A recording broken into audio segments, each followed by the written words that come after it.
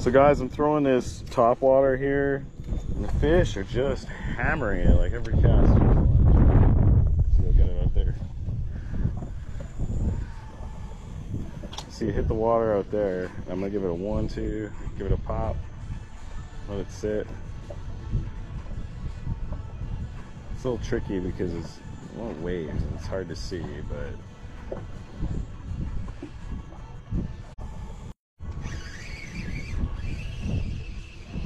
Oh, I think he just came off. Oh, he did.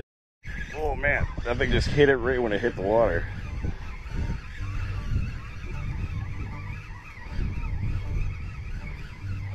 This might be a keeper trout, guys. Not a keeper. Nope.